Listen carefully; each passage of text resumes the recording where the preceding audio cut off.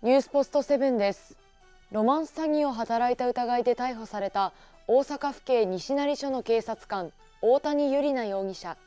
明るい性格で愛されキャラだったそうです。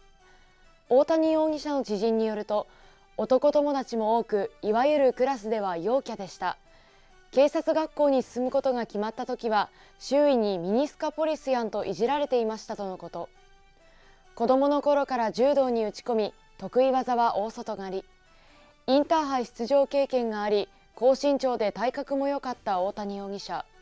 警察官としても期待をかけられる存在だったそうです。ニュースポストセブン。